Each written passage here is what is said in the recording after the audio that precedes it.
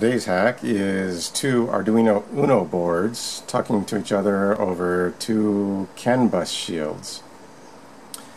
Communicating over this uh, red and black twisted pair wire, which is a local CAN bus. Each of the Arduino boards is connected by USB to the PC and they are transmitting at high speed. Now if I go in here and I push the button on this one, it lights the LED on the other one, and on this one. And if I push the LED on, uh, the button on this one, it lights the LED on the other board. So it's bidirectional alternating communication. And it comes from this code here. They're both running the same code more or less.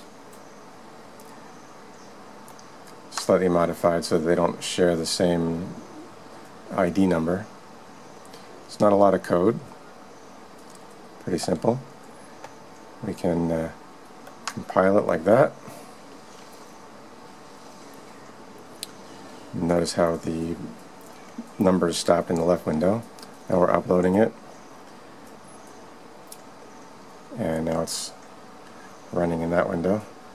Now this other code here, if we compile it, notice how the numbers in the left window become only ones because we're transmitting one byte packets and receiving eight byte packets.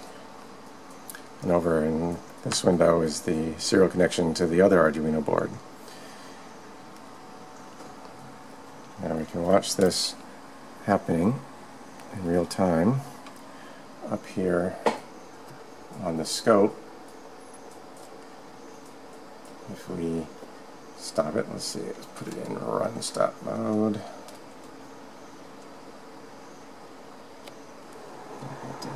Sequence it. And there you get full set of communication, one and then the other. Running at a megabit.